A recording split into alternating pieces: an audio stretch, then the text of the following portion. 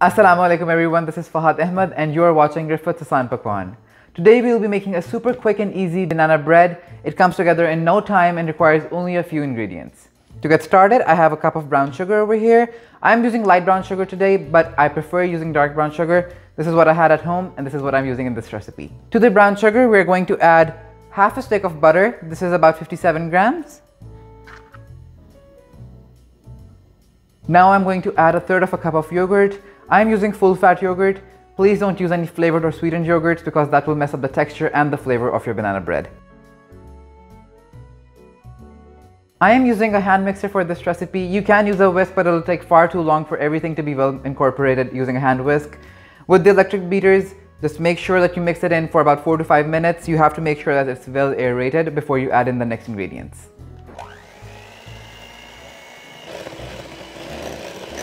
I've been mixing this up for about 4 to 5 minutes. It's well incorporated and well aerated at this point. Now we're going to go ahead and add 2 large eggs. Mix it in.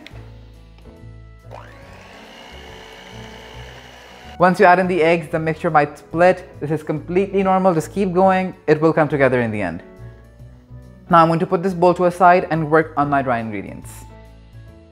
We'll start with a cup and a quarter of all-purpose flour,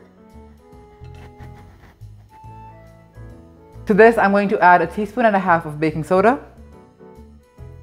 Please don't use baking powder, that's completely different. Now we'll add in a fourth of a teaspoon of salt. Give this a quick shake.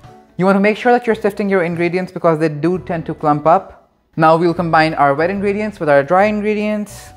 You want to make sure that you're doing it in additions. If you add it all at once, it might overwhelm the mixture and it will get clumpy in the end. So just go ahead and add about a cup at a time.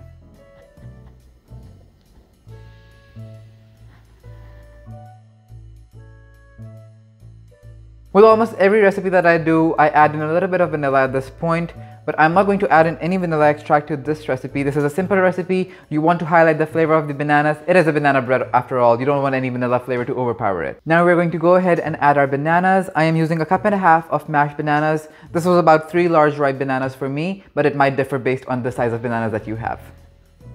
Give it a quick mix.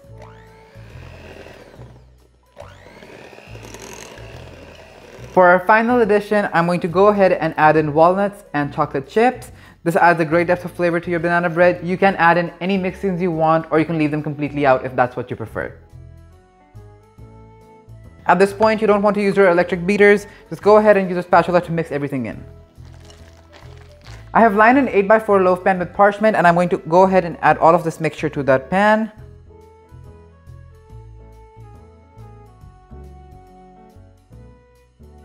This is going to go into a preheated oven at 350 degrees Fahrenheit for about 60 to 65 minutes.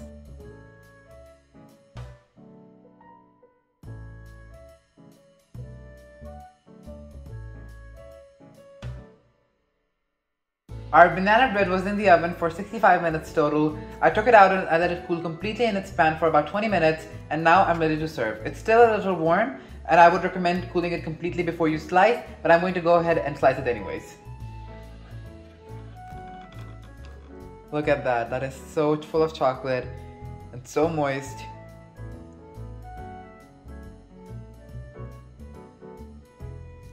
I like to serve my banana bread with a cup of chai or coffee, but it goes great on its own as well. If you like this video, don't forget to leave a thumbs up and subscribe to Riffat Asaan Pakwaan for more recipes in the future. See you in the next one.